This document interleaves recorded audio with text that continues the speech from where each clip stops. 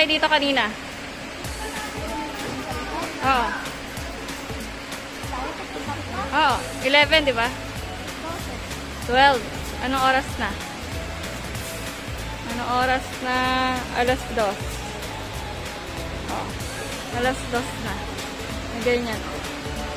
Sila rin kasi nagpapak. So, ganun katagal talaga. Wala silang bagger. So, sila magpapaan, sila magtatransact. Tapos sila din ang magbabag. My God. Inip na inip na yung mga tao dito. Pagod na yan. Pagod na pagod na siya. Tapos dalawang cart pa yan. Oh. Guys, so tapos na kami mamili ng ko. And sober yung pagod. As in, sobrang pagod talaga. Imagine, 11 kami nagpunta doon. And then, natapos kami ng 2. Um, black 10 po. Sundan mo lang yan sila, kuya. Sundan mo lang sila. Sundan mo lang sila. That's yun. Yun, so nakasakay kasi ako sa tricycle. So, ayan. Yun yung mga napamili ko. Nandun sa kabilang tricycle si nanay ko. So, yun. And nakakatuwa kasi parang feeling ko, guys, ang dami kong nabili. Oo. Parang ang dami kong napamili. Tapos sa halagang 5,000 lang. 5,000 lang lahat yung napamili ko. And ang budget ko kasi, guys, is nasa 10,000. So, 5,000 lang yung napamili ko. Meron pa akong enough na pera para dun sa mga kulang. Tsaka ko pa machi-check ko ano pa yung mga kulang. So, meron pa akong um, enough na pera pa. May budget pa ako para dun sa mga kulang. So, yun. So, malapit na akong bumaba and na-excite na ako mag-ayos. So, yun. Later na lang, guys. Bye!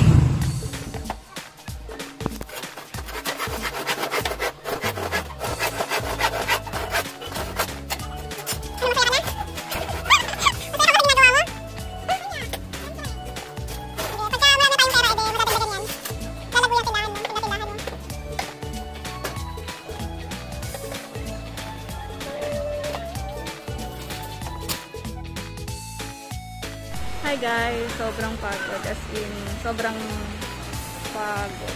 Ang dami ko kasi yan. So, mas mabilis yata ako ngayong araw kasi alam ko na kung ano yung mga kasi, kasi may idea na ako kung ano yung mga dadamputin ko. So, mas mabilis ako ngayong araw nakapamili. And, medyo mahaba lang din talaga yung pila. Pero, mabilis naman. Since weekend kasi kayo ngayon. Kaya, ganun kahaba yung pila. Yan. Tingnan natin kasi bibili ako ng alak eh.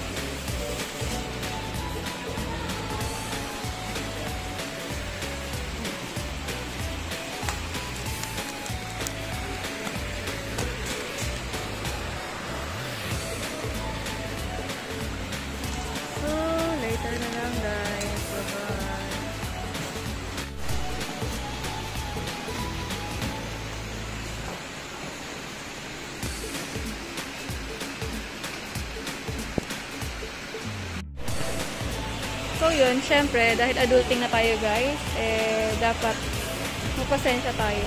Kasi yung sinundan ng pila ko is kinulang yata yung pera nila. So, umuwi pa sila para para kumuha ng pambayad and card yung pambabayad nila. So, walang signal. Ganun katagal. As in, ganun talaga katagal. Imagine, pumunta ako dito ng 412. 2.30 na, nandito pa rin ako. Kaya 2.30 na dalawang araw ako nandito. Kahapon ang pila ko, parang 3 hours ako nandito. So, ngayon, 2 and a half hours, nandito pa rin ako.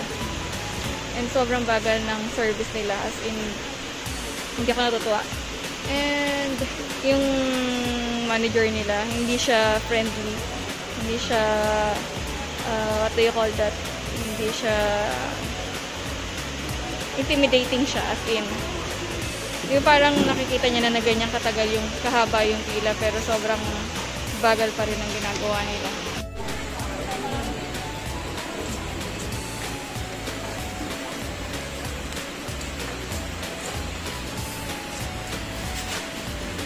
Nauna pang natapos yung kabila. Nauna pa ako kay ate pero nauna pa sa akin. Yan. So kung pumila ako doon, kanina pa rin ako tapos.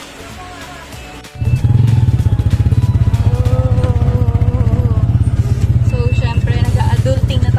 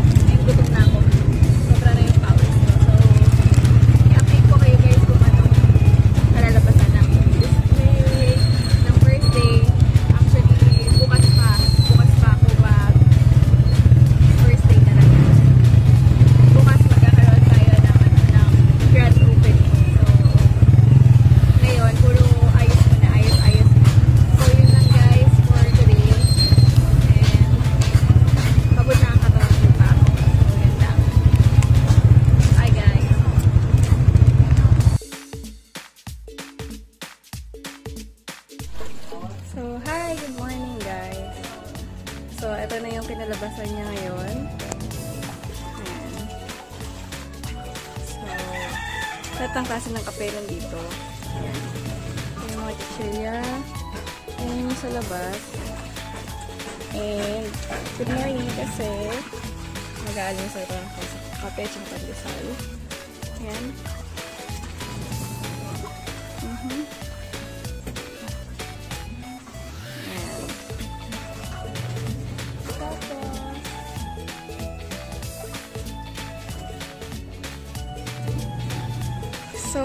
Medyo marami pang kulang. Unti-unti, everyday, um, nalalaman natin kung ano yung kulang pagka may naghahanap. Yun, nililista ko, ginagawa ko, nililista ko kung ano hinahanap nila na kulang. Tapos kapag ka namili ako, tsaka ko siya bibilin. So, for now, konti lang yung sabon na meron ako. Yan lang. Kasi hindi ko pa alam kung ano yung ginagamit ng, ng iba ng mga mamimili dito malapit sa amin. So, yun. Marami ako na pamili na yan, chips. Kasi yung mga bata dito, mahilig kumain. Mahilig sila sa mga chicheria. And, parang in-underestimate ko sila kasi isang cupcake. Ayan. Diyan ka na lang.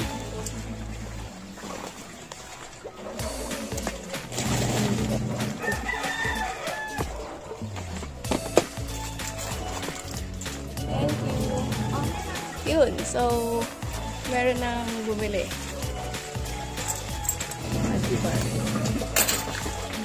Alam niyo guys, pinakamahirap dito. Pinakanahirapan ako. Mag-SRP. Kasi, yung price niya. Hirapan ako mag-presyo. Yan talaga yun. Tapos kaya ang ginawa ko, sinulatan. Sinulatan ko siya sa bawat ano. Ayan, like tulad nito. Energen, yan, 8 pesos. Smile, 8 pesos. Ito, yan yung mga chicheria. Nilagyan ko na lang siya ng price, pentel pen. Kasi talagang, eh, lalo, hindi, hindi rin naman ako palagi nandito. So, yung nanay ko, hindi niya masyado makabisado pa. Kaya sinulatan namin. Yan. Bibili siguro ako ng gantag para mas madali, para hindi nasulat ng sulat. So, ngayon guys, magkakape ako. Ang aga ko lagi gumigising. Dahil dito, kasi maaga pa lang may mga bumibili na. Yan. Meron din pala akong mga alak. Kasi may alak ko. Hindi nakatago. Nakatago yung alak kasi bawal daw. So, ayan. Tapos may mga soft drinks din ako and pinakamabenta sa lahat is yung sigarilyo.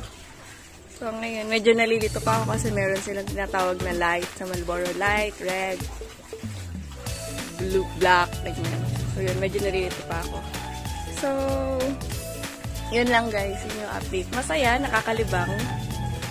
Actually, sa ganitong business, um, maliit lang, maliit lang yung kita. Parang nagpapatong lang ako ng okay na sa akin yung 1 peso per item. Papatong ko. Ayoko naman ng mas mahal ako. Sa labasan, medyo mas mahal. Yung ginagawa ko mas mura sa akin para instead na hindi na lalabas sila bukod sa malayo, eh mas mahal na, dito na lang sila sa akin. Diba sabi nga pagka naging negosyo ka, uh, think Chinese, kasi ang Chinese parang kahit daw konti lang yung ipapatong na tubo, mas mabilis naman na de-dispose yung item item. So, mas madali yung kita, mas madali ka makapag-replenish, mas mabilis, mas mabilis siya mauubos. So, yun. Kaysa mas mahal, para mas malaki yung kita mo. Pero hindi naman agad ganun hindi dispose. So, yun lang yung tips sa ganito, guys. Medyo baguhan ako. Parang pang 6 days ko pa lang ngayon. Pero nakakatuwa talaga, guys. Kasi, kahit pa paano, hindi naman din ganun katao dito sa lugar namin. Pero okay, okay. Yung kagabi, ang benta ko is nasa 1,813. Nakakatuwa for baguhan na business. So, yung iba, parang hindi pa, hindi pa nila alam na doon sa bandang dulo, hindi pa nila alam na meron na ditong tindahan sa bungad. So, yun. What more pa? Sana maging, magtuloy-tuloy, maging okay yung business. Yun. So, wish me luck, guys. Sana maging okay yung business. Medyo nagpalit na ng career. Alam niyo naman, pandemic, medyo mahirap umasa sa isang trabaho lang. And 12 years din ako nagtatrabaho. So, ngayon lang ako. Ngayon ko lang ginawa yung mag-business ng ganito na nasa bahay ka. Medyo hindi ako sanay kasi naman sanay ako ng araw-araw gumigising, nagpe-prepare, yan, nag-aayos. Tulad ngayon, as in bagong gising. Yan. So, yun lang. Ang masasabi ko lang, huwag kayong matakot mag-try ng kahit ano, basta kumikita at marangal. Try lang ng try kayo. Malay, malay nyo, doon tayo maging successful, di ba? Ako, tinitingnan ko rin yung ganong side. Baka eto nga talaga yung para sa akin. Baka hindi talaga para ako doon sa career ko na 12 years ko siyang ginawa. And medyo hindi naman ako naging ganun ka-successful doon. May ipon, oo, tamang, tamang may ipon, pero hindi pa rin sapat. So, yun. So, yun lang guys. Wish me luck! Bye!